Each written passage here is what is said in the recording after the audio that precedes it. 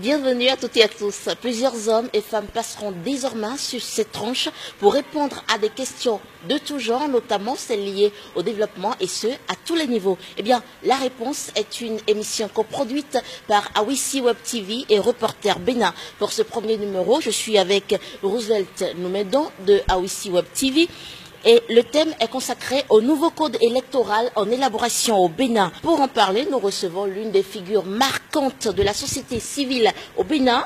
Il est ancien président de Social Watch Bénin et président de la cellule et méthode de Labo Citoyenneté.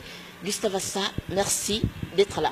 Gustave Assa, bonjour. Bonjour à vous. Merci d'avoir accepté notre invitation. Merci également à vous. Que pensez-vous du nouveau code électoral en élaboration au Parlement béninois? En tant qu'acteur de la société civile. Euh, cette situation qui devait faire la chronique actuellement peu plus tard. Et c'est heureux que nous ayons l'opportunité de nous prononcer exactement sur ce code euh, électoral euh, en pleine construction au niveau, donc, j'allais dire, de notre Parlement. Je voulais reconnaître, comme vous l'avez si bien entendu de la part des Béninoises et des Béninois, que c'est un code qui dérange. Ce code dérange beaucoup dans les articles qui aujourd'hui ne font pas l'unanimité au cœur de la société. Ce code dérange parce que nous avons euh, senti qu'à travers euh, certains de ces articles, effectivement, euh, nous traverserons des zones de turbulence dans la mesure où, lorsqu'on se réfère à notre conférence nationale que nous avons appelée les conférences nationales des forces vives de la nation. C'était toutes les sensibilités qui étaient présentes. C'était des pauvres, des riches.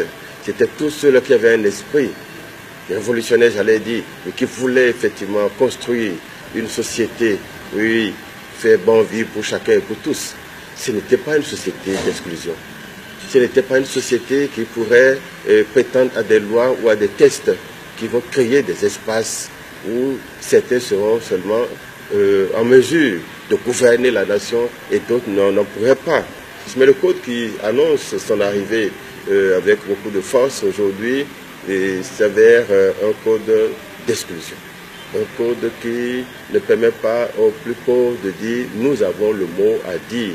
Je me suis référé à la conférence nationale pour vous dire en réalité que c'était cet, esprit, disons, d'unité, d'acceptation de l'autre, de compréhension, je dirais de consensus, et qui ont fait objet de, d'éléments, je dirais, constitutionnels après. Nous allons référer encore à notre tradition.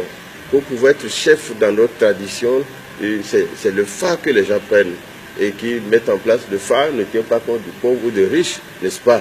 Et quand on lance le phare, le phare tombe sur un plus jeune le phare peut tomber sur un plus vieux. Ça veut dire qu'on a offert la possibilité qu'il y ait à tout, le monde de participer. Dites-moi, Monsieur Gustave Assa, au-delà de l'exclusion, quels sont les risques de l'adoption de ce nouveau code électoral pour le Bénin? D'abord, nous risquons des élections non pacifiques. Nous risquons des élections conflictogènes. Nous risquons la stigmatisation. Nous risquons les replis identitaires nous risquons d'accroître davantage, et disons ce que nous vivons déjà, un certain nombre de factures sociales qui existent dans le pays. Vous en savez quelque chose à partir d'événements précis que nous avons vécus. Nous risquons également, euh, je dirais, euh, l'augmentation de cette fracture politique. Vous voyez déjà que s'il y, y, a une certaine euh, exclusion qui s'observe et déjà assez de méfiance, assez de colère, on ne sait pas exactement de quoi le lendemain sera fait le Bénin doit être à l'abri de ce qui peut l'embraser. Le Bénin doit être à l'abri de tout ce qui facilite euh, euh, la déchirure. Le Bénin doit être à l'abri de ça. Et nous ne comprenons pas que, en dépit de tout ce que nous vivons, de toutes les colères, de tous les surchauffements qu'il y a, qu'il y ait encore des éléments, au lieu de nous rassembler, euh, accroître la division permet de craindre l'autre. Les divisions s'observent au niveau des familles. Déjà, les divisions s'observent, quand je parlais de facture tout à l'heure, s'observent à tous les niveaux, économiques, politiques et, autres. Et donc, ces risques sont à craindre pour notre pays. Et nous, au niveau de la plateforme électorale des OSC, nous avons souhaité que tout en félicitant effectivement les députés qui ont fait l'espace pour les discussions, pour apporter des contributions, pour que nous ayons un code électoral euh, assez, je dirais, proche de ce que nous cherchons, nous voulons aussi les inviter à forcément comprendre que de toutes les discussions qu'ils ont eues, il n'y a jamais eu des propositions allant dans le sens d'augmenter le montant à proposer pour aller aux élections avec un certain nombre de choses qui, qui, ne nous honorent pas. Le Bénin donne à la face du monde que désormais pour être président au Bénin, il faut 250 millions. Le Bénin donne l'impression aujourd'hui que ben, ça y est, c'est de ça qu'il s'agit. Mais ceux qu'il faut craindre, en fait, ce ne sont pas ceux qui sont euh, ceux que vous appelez ceux qui viennent euh, euh, faire des petits foulés et ceux qui s'amusent à vouloir dire qu'ils sont présidents. C'est eux qui font que les élections sont très démocratiques. Les Accéder à la haute magistrature n'est pas, pas également une plaisanterie. Est-ce que vous ne pensez pas que c'est pour essayer de verrouiller cet accès? Ils ont dit ça, que c'est verrouiller, n'est-ce pas, l'accès aux plaisanter à ce processus. Mais ceux-là, ils s'arrêtent très tôt. C'est-à-dire que nous, à la plateforme, nous avons souhaité qu'il y ait disons, des dispositifs au niveau pénal pour empêcher cela, par exemple. Qu'il y ait des précautions à prendre. Quand tu viens, tu es un plaisantin, le jour où tu déposes ton dossier là, on ne te compte que lorsqu'on te prend ta caution là. Tu déposes la caution, tu amènes en même temps, tu déposes ton, dossier, la candidature est suivie du dépôt, n'est-ce pas, de, de, de, ta caution. Mais lorsque vous mettez 250 millions, les Béninois lorsqu'ils sont préoccupés par quelque chose, prenez les six premiers de la dernière fois. Les six premiers n'ont pas dépensé que 250 millions, ils ont dépensé plus. Bien sûr. Les six premiers sont encore en lice actuellement. Avec 250 millions, vous n'avez pas encore empêché quelqu'un d'aller aux élections. Avec 250 millions, le plus à craindre, et je pense que ce n'est pas là leur problème, si la question est souvent au niveau des plaisantins, de ceux qui s'amusent à démontrer je crois qu'on peut trouver mieux. Et s'il faut trouver mieux, il faut donner l'impression à notre pays d'aller dans le sens donc, de la construction au lieu de la division. Que proposez-vous concrètement aux acteurs politiques tout en convaincus pour qu'ils puissent quand même avoir un consensus concernant le cours électoral La première chose, c'est d'être préoccupé par l'inclusion des acteurs, le consensus ils ont bien commencé en associant tout le monde aux rencontres pour préparer, euh, discuter, avoir le consensus autour de certains points. Mais quand ça retourne au niveau du Parlement seulement, on ne sait pas, il y a des épines qui ressortent encore en même temps, qui, qui rentrent dans la gorge des gens, on ne comprend pas. On se demande à quoi avons-nous servi pendant les périodes de, de, de préparation de la plupart de, ces euh, rencontres-là. Nous avons aussi souhaité qu'il y ait davantage de points retenus. Parce que si les députés, les honorables députés ont plus fait, ont de consulter, n'est-ce pas, les populations, les organisations de la société civile, les partis politiques, les syndicats et autres, les femmes, les jeunes, ils l'ont fait, mais on ne se sent pas pris en compte dans les résultats qui vont en plénière là-bas et qu'on soumet encore au peuple. Je voudrais leur dire de faire désormais attention. Parce qu'en fait, euh, ils ont trois rôles. Représenter le peuple, n'est-ce pas voter des lois et puis, n'est-ce pas, contrôler l'action du gouvernement. Dans la représentation, ils ont le droit de nous représenter totalement, entièrement, complètement. Donc, euh, quand on nous dit un peu ici, et puis là-bas, ça devient autre chose, ça devient un problème. On n'a pas l'impression d'être pris euh, au sérieux par les députés. Nous aussi, en retour, on ne les prend pas au sérieux. Si ça se passe comme ça, nous voulons qu'ils soient toujours nos honorables. Nous voulons indiquer qu'ils peuvent davantage faire mieux pour le peuple on a le souci, on sent qu'ils ont le souci de voter beaucoup de lois, c'est bien, mais en même temps qu'ils votent des lois qui fassent du bien à la population et au développement de notre pays. Ok. Et sur le sujet, quelle doit être la posture du peuple béninois vis-à-vis des acteurs Le peuple béninois est en train d'être poussé à l'exaspération. Le peuple béninois est en train d'être poussé à rentrer dans beaucoup de situations. Mais même exaspérer le peuple béninois est plutôt pacifique. Est-ce que les politiques ne, profitent quand même pas un peu de ça? Je crois que c'est absolument de ça qu'il s'agit.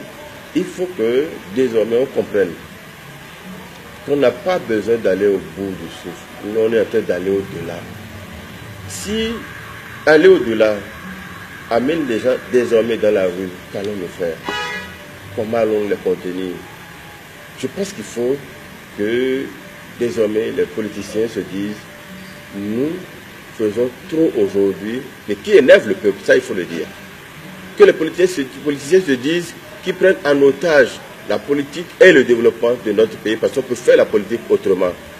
Que les politiciens comprennent qu'ils n'ont pas besoin de voter des lois sur mesure parce que ça les concerne aujourd'hui et ceux qui ne sont pas concernés, il faut les exclure. Ceux qui sont exclus ne sont pas toujours contents. Personne ne sait comment chacun réagit aujourd'hui. Nous encourageons le peuple également à vivre, à surpasser un peu ces événements. Mais je me demande comment. Parce qu'il y a trop d'événements qui énervent. Il y a trop d'éléments qui aujourd'hui, quand je parle des différentes fractures au niveau social, au niveau économique, au niveau politique, ici, au plan politique, on sent qu'il y a une tentative d'embrigader toute la politique, une tentative, n'est-ce pas, de créer des espaces où la, population ne pourra plus se sentir concernée, ne peut plus contribuer, ne peut plus apporter sa part à la construction de, l'édifice. C'est un problème.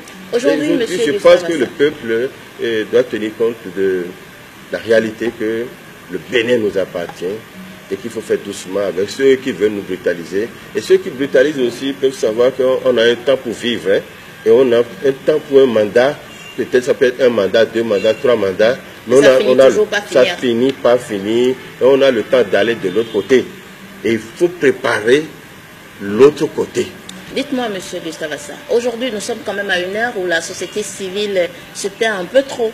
Que prévoit faire la société civile dans ce cas-là La société civile ne sait pas tout. Je vous ai dit qu'on a prévu, on a rencontré, on a été rencontré, on a participé à des débats euh, de construction d'alternatives euh, pour aller dans le sens, n'est-ce pas, d'une proposition de, loi. On a un code électoral qui a fait ses preuves qui a conduit les dernières élections. C'est avec ce dernier code-là que la plupart de ceux qui nous gouvernent aujourd'hui, au niveau de l'Assemblée, au niveau de, euh, de la magistrature suprême et autres, ceux-là nous gouvernent aujourd'hui. C'est avec ce code qu'on a élu les maires, les préfets, non pas les préfets, on a élu les maires, les députés et donc euh, le chef de l'État lui-même.